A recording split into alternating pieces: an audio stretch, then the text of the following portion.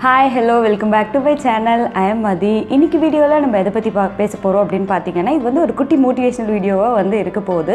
So சில பேர் வந்து இல்லைங்க எனக்கு ஒரு கோல் இருக்குது அந்த கோலுக்காக நான் விடாமல் முயற்சி பண்ணேன். ரொம்ப ட்ரை பண்ணியும் என்னால் வந்து ஃபஸ்ட் அட்டம்ப்டில் கெட் பண்ண முடியல. எனக்கு வந்து ஃபெயிலியர் ஆகிடுச்சு அதனால் எனக்கு ரொம்ப டிப்ரெஷன் ஆகிடுச்சு நான் என்னோடய கோலை வந்து வித்ட்ரா பண்ணுறேன் அப்படின்னு ரொம்ப ஃபீல் பண்ணுறவங்களா இருந்தீங்கன்னா இல்லை இந்த மாதிரி நான் ரொம்ப என்னோட கோலை அச்சீவ் பண்ணுறதுக்கு ட்ரை பண்ணிகிட்டு இருக்கேங்க. என்னை சுற்றி எல்லாருமே வந்து ரொம்ப நெகட்டிவாகவே பேசுகிறாங்க உன்னால் இது முடியாது.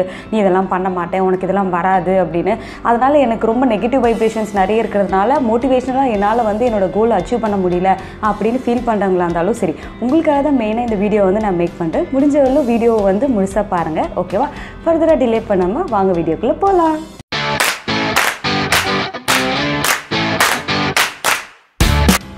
ஓகே இன்னைக்கு வீடியோவில் நான் உங்களுக்கு வந்து ஒரு ரெண்டு குட்டி கதை வந்து சொல்ல போகிறேங்க ஃபஸ்ட்டு கதை என்னன்னு பார்த்தீங்கன்னா ஒரு வழிப்போக்கன் அந்த பக்கமாக போயிட்டுருக்கான். அப்போ பார்த்தீங்கன்னா ஒரு பெரிய யானையை ஒரு சின்ன சங்கிலியில் போட்டு கட்டி போட்டு ஒரு ஓரமாக நிற்க வச்சுருக்காங்க. அந்த வழிப்போக்கனுக்கு ஒரே ஆச்சரியம். என்னடா அது இவ்வளோ பெரிய யானையாக இருக்குது ஆனால் அந்த யானையை இத்தினோண்டு சங்கிலியில் வந்து கட்டி போட்டு வச்சுருக்காங்க அப்படின்னு. சரி அதை என்னன்னு கேட்கலாம் அப்படின்னு பக்கத்தில் இருக்க யானை பாகன்கிட்ட போயிட்டு ஏங்க இவ்வளோ பெரிய யானையாக இருக்குது இந்த யானையை போய் ஒரு சின்ன சங்கிலியில் கட்டி போட்டு வச்சுருக்கீங்களே. வேகமாக இழுத்தாலே அந்த சங்கிலி பிச்சுமே அப்புறம் அந்த யானை தப்பிச்சு ஓடி போயிடுச்சுன்னா என்ன பண்ணுவீங்க அப்படின்னு. அதுக்கு அந்த யானை பாகன் ரொம்ப சிரிச்சிட்டே வந்து இங்கே பாருங்கள் இந்த யானையை சின்ன வயசுலேருந்து நான் தான் வளர்க்குறேன். சின்ன வயசுலேயும் இதே சின்ன சங்கிலியில் தான் அதை வந்து நான் கட்டி போடுவேன். அப்போ அது இழுத்து இழுத்து பார்த்தது. அப்போ வந்து அந்த சங்கிலி வந்து அதோட ஸ்ட்ரென்த்துக்கு ரொம்ப பெருசாக இருந்ததுனால அந்த சங்கிலி அறுபடவே இல்லை. அதனால் அந்த யானையோட மைண்ட் செட் என்னென்னா பெருசாக வளர்ந்ததுக்கு அப்புறமும் கூட இந்த சங்கிலியை கட்டி போட்டோன்னா நம்மளால் தப்பிச்சு போக முடியாது. இந்த சங்கிலியை நம்மளால் அறுத்துற முடியாது அப்படின்னு அதுக்கு ஒரு மைண்ட் செட் ஆயிடுச்சு. அதனால் எப்போவுமே சின்ன வயசுலேருந்து இப்போ வரைக்கும் அந்த ஒரே சின்ன சங்கிலியில் தான் நான் கட்டி போடுறேன். அதில் கட்டி போட்டால் அந்த யானை எப்பவுமே அங்கேயே தான் நிற்கும் அப்படின்னு வந்து அந்த யானை பாகன் வந்து வழிபோக்கனுக்கு சொன்னாங்களாம். சம்டைம்ஸ் நம்மளும் அந்த யானை மாதிரி தாங்க இருக்கும். நம்ம ஒரு கோல் வச்சுருப்போம் அதுக்கு ரொம்ப கஷ்டப்பட்டு ட்ரை பண்ணி அச்சீவ் பண்ண நினைப்போம்.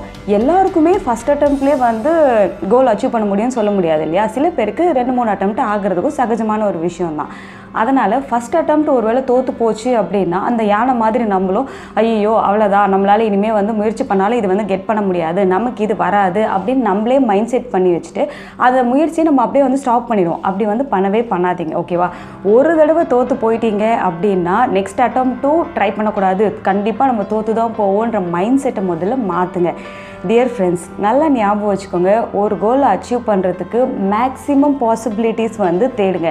கண்டிப்பாக ஏதாவது ஒரு விஷயம் இல்லைன்னா ஒரு விஷயம் நமக்கு வந்து கெட் பண்ண முடியும். அது வந்து ப்ராப்பர் வேயாக இருக்கும்.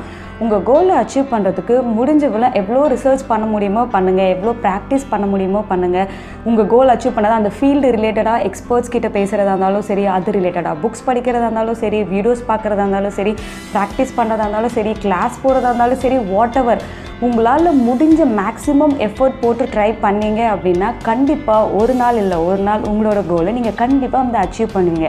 ஒரு தடவை ஃபெயிலியர் ஆயிடுச்சுன்னா தயவு செஞ்சு அதோட வந்து ட்ராப் அவுட் பண்ணிடாதீங்க. கண்டிப்பாக ஜஸ்ட் கீப் ஆன் ட்ரைங் கண்டிப்பாக ஒரு நாள் உங்கள் கோலை அச்சீவ் பண்ண முடியும். ஓகே இப்போ வந்து நம்ம ரெண்டாவது ஸ்டோரி வந்து பார்க்கலாம். ஒரு காடு. அந்த காட்டில் நிறைய தவளைங்க ஒரு இடத்துல இருந்து இன்னொரு இடத்துக்கு போயிட்டு இருந்துச்சாம்மா அப்போது தவறுதலாக ஒரே ஒரு தவளை மட்டும் தவறி ஒரு பெரிய பள்ளத்தில் விழுந்துருச்சு. ஸோ அந்த பள்ளத்தை சுற்றி மீதி இருக்கிற தவளைகள்லாம் நின்றுட்டு அவ்வளோதான் இது ரொம்ப பெரிய பள்ளம். இந்த பள்ளத்தில் போய் இந்த ஒரு தவளை விழுந்துருச்சு. கண்டிப்பாக இது வந்து மேலே ஏறி வரப்போகிறது கிடையாது. கண்டிப்பாக இந்த தவளை செத்து தான் போக போகுது. பேசாமல் வாங்க நம்மளோட பயணத்தையாவது கண்டினியூ பண்ணலாம் அப்படின்னு வந்து சில தவளைகள் சொல்லிச்சான். சில தவளை இரு இரு அப்படி என்ன தான் அந்த விழுந்த தவளை பண்ணுதுன்னு பார்ப்போமே அப்படின்னு சொல்லிட்டு மீதி இருக்கிற தவளைகள்லாம் வந்து பார்த்துட்டு இருந்ததாம். சில தவளைகள் வந்து சே இவ்வளோ பெரிய பள்ளம் கண்டிப்பாக இவனுக்கு இன்னைக்கு டெத்து தான் அப்படிங்கிற மாதிரி பேசிச்சான். ஸோ சுற்றி இருக்க தவளைகள்லாம் வந்து இது மேலே வராது இது அவ்வளோதான் செத்து போயிடும். இன் நம்ம வந்து டைம் வேஸ்ட் பண்ணிகிட்ருக்கோம் இந்த ஒரு தவளைக்காக நம்ம வந்து வெயிட் பண்ணிகிட்ருக்கோம் பேசாமல் வந்து போயிடலாம். அப்படி இப்படின்னு வந்து நிறைய நெகட்டிவ் கமெண்ட்ஸாக வந்து சொல்லிகிட்டே இருந்ததான். கீழே விழுந்தது பற்றியா ஒரு தவளை. அந்த தவளை மேலே வர்றதுக்கு ட்ரை பண்ணிகிட்டே இருந்தது. ஃபஸ்ட் அட்டம்ப்ட் முடியல. செகண்ட் attempt முடியல. ரெண்டு மூணு தடவை நல்லா ட்ரை பண்ணுது. கடைசியாக அட் லாஸ்ட் ஒரு அட்டம்ப்டில் வேகமாக ட்ரை பண்ணி எகிரி குதிச்சு அந்த பள்ளத்துலேருந்து மேலே வந்துருச்சாம்மா ஸோ மேலே வந்ததுக்கப்புறம் மீதி இருக்க தவளைங்கள்லாம் கிட்ட போயிட்டு ஏ நீ எப்படி வந்து இவ்வளோ பெரிய பள்ளத்தை வந்து மேலே ஏறி வந்த? நீ எல்லாம் செத்து போயிடுவல்ல நாங்கள் எல்லாம் பேசிகிட்டு இருந்தோம் அப்படின்னு வந்து மீதி இருக்க தவளைங்கள்லாம் மேலே ஏறி வந்த தவளையை பார்த்து சொல்லிச்சான். அப்போது அந்த தவளை வந்து நீ என்ன சொல்கிற என் காதில் எதுவும் கேட்கலையே அப்படின்னு. ஸோ அதோட ஃப்ரெண்டோட தவளை வந்து ஆக்ஷனில் வந்து சொல்லி காமிச்சான் இந்த மாதிரி நீ கீழே விழுந்தப்போ எல்லாரும் உன்னை சுற்றி நெகட்டிவாக பேசிகிட்டு இருந்தாங்க. நீ செத்து போயிடுவ மேலேயே வரமாட்டேன்னு சொல்லிட்டுன்னு. ஆனால் நீ எப்படி மேலே ஏறி வந்தேன் தான் உன்னை எல்லாரும் கேட்குறாங்க அப்படின்னு. ஓ அப்படியா? ஃபஸ்ட்டு திங் எனக்கு காது கேட்காது. ரெண்டாவது விஷயம் நீங்கள் எல்லாம் என்னை சுற்றி பேசுனதை பார்த்து நீங்கள் எல்லாம் என்னை என்கரேஜ் பண்ணுறீங்க அப்படின்னு நினச்சில்ல நான் ரொம்ப ஆர்வமாக வந்து ட்ரை பண்ணி எகிரி குச்சி மேலே வந்தேன் அப்படின்னு அந்த தவளை வந்து பதில் சொல்லிச்சான். சம்டைம்ஸ் இல்லை. மோஸ்ட் ஆஃப் த டைம்ஸ் நம்ம அந்த காது கேட்காத தவளை மாதிரி தாங்க நம்மளோட விஷயத்தில் இருக்கணும். ஏன்னா நமக்கு நம்ம கோல் ரொம்ப பெரிய விஷயம். அதுக்கு நம்ம ரொம்ப சீரியஸாக ட்ரை பண்ணி அது எப்படியாவது அச்சீவ் பண்ணிடலாம். நம்ம ட்ரை பண்ணும்போது நம்மளை சுற்றி நிறைய கிரிட்டிசிசம் வரும். இதெல்லாம் உன்னால் முடியாது. உன் தகுதிக்கு இதெல்லாம் ரொம்ப ஜாஸ்தி. நம்ம ஃபேமிலிக்கு இதெல்லாம் ஒத்து வருமா? இவன் தோற்று போயிட்டா அவன் தோற்று போயிட்டா நீ மட்டும் எப்படி ஜெயிப்ப?